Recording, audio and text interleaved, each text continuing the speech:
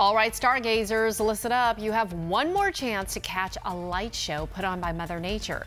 Tonight is supposed to be the peak time to see the Perseid meteor shower. Groups have been gathering across the country to enjoy the spectacle, which occurs every August when the Earth passes through the debris of Comet Tuttle discovered in 1862. And meteors are part of rock and dust that hit the Earth's atmosphere, heat up and glow. Most of them vaporize as they descend, but some of them explode. Yeah.